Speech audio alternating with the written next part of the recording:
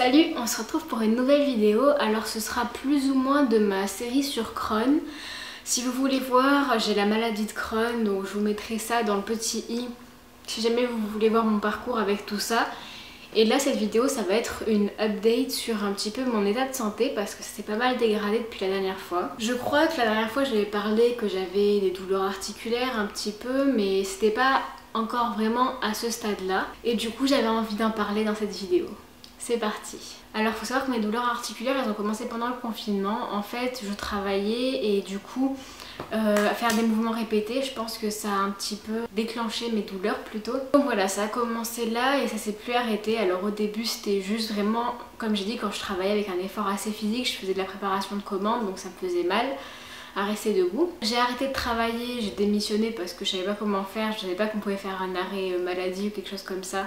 Du coup j'ai démissionné en espérant que mes douleurs articulaires se calment et ça s'est pas du tout calmé alors je suis passée de juste des douleurs à la marche donc j'avais mal dans les genoux, dans les chevilles, tout ça à la marche. Euh, environ 15 minutes après euh, avoir commencé de marcher, j'avais des douleurs qui s'activaient. Donc c'était à peu près ça pendant un petit moment, mais ces derniers temps, ça s'est vraiment empiré euh, de manière exponentielle. là, on va dire que j'ai environ 5 minutes de marche peut-être en autonomie. Après, j'ai des douleurs vraiment qui commencent à apparaître un peu de partout. Par exemple, si je fais à manger, la super cuisine là, si je fais à manger et euh, j'étais en train de faire un plat, juste le fait de faire des allers-retours de la chaise à mon plat de manière répétée, ça m'a fait vraiment très très mal au genou, c'est mon genou qui souffre le plus. Mais même hier j'ai écrit que j'aime bien faire de la broderie, en fait j'adore faire des trucs manuels et mes mains, les deux là, elles me font très très mal, là j'ai mal. Ici. Mais j'ai très mal au poignet, au coude aussi quand je brode et je suis obligée de garder des plaque de froid avec moi pour pouvoir un peu soulager mes articulations parce que les antidouleurs ne marchent pas si vous vous posez la question. Ils ne marchent pas. On m'a donné plusieurs types d'antidouleurs mais euh, ça fonctionne pas sur moi.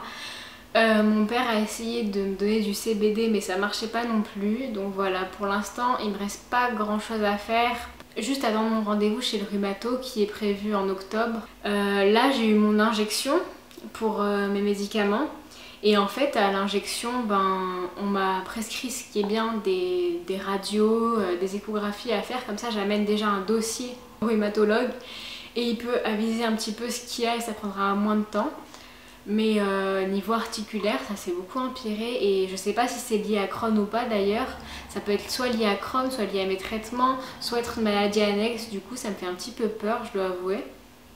Mais du coup voilà, c'est quelque chose dont je voulais parler, les douleurs articulaires avec Crohn parce que bah, c'est assez courant mine de rien. Euh, moi c'est des douleurs articulaires à l'effort, alors de ce que le médecin euh, à l'injection m'avait dit c'était pas hyper courant, généralement c'est plus douleur le matin puis après ça se calme. Moi c'est dès que je fais un petit effort donc je sais pas à cause de quoi ça peut être. Je sais pas si ça pourrait pas être à cause de mon traitement parce que mon super traitement, je voulais en parler un petit peu, mais mon traitement Actuellement, j'ai des douleurs au ventre euh, trois fois par jour, je dirais.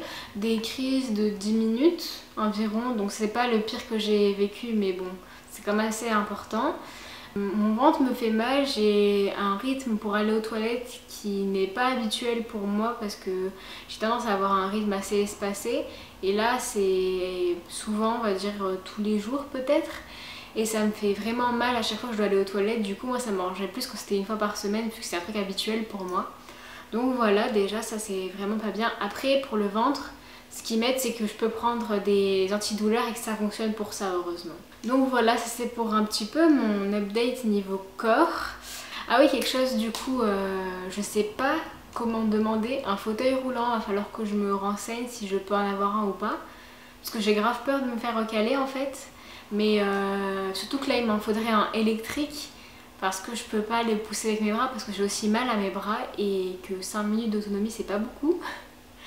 Du coup voilà je sais pas quoi faire pour ça, je vais essayer de me renseigner sur internet et tout mais euh, compliqué quand même à trouver les informations.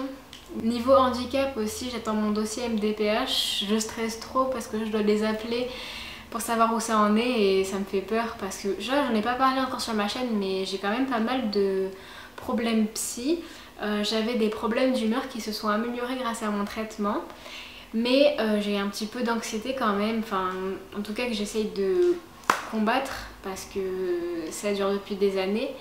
Mais appeler, ça me fait toujours un grand stress et ça me donne mal au ventre. En plus, à cause de Crohn, ça augmente tout ça, bref. Oui, euh, ce que je voulais parler à propos du fauteuil roulant, c'est que du coup, vu que je peux pas marcher beaucoup pour faire les courses, je suis obligée de me faire trimballer par ma meilleure amie. C'est-à-dire qu'elle me met dans le caddie, comme ça j'ai pas à marcher. Et ça me fait quand même mal aux articulations parce que je suis toute compactée et tout, mais c'est déjà mieux que rien. Et euh, du coup je suis obligée de la guider pour qu'on puisse faire les courses toutes les deux parce que j'ai ma liste de courses et c'est moi qui guide avec les rayons tout ça. Et euh, du coup voilà, si jamais vous voyez des gens dans des caddies, ben c'est peut-être la raison pourquoi ils sont dedans en fait. Hein. Parce que je dis, il y a grave de gens qui me regardent un petit peu bizarre, mais qu'est-ce qu'ils veulent? Enfin, il y a des gamins qui me fixent en fait. Autant les enfants je comprends, enfin ils sont jaloux parce qu'eux ils peuvent pas aller dans le caddie et que moi j'y suis. Mais autant il y a des adultes qui regardent un peu avec un air de dégoût apparemment. Et moi, enfin, je comprends pas ça. Alors en air étonnement, oui, mais un air de dégoût, enfin, n'y a pas à être dégoûté, hein. C'est un adulte dans un caddie, enfin, c'est pas grave.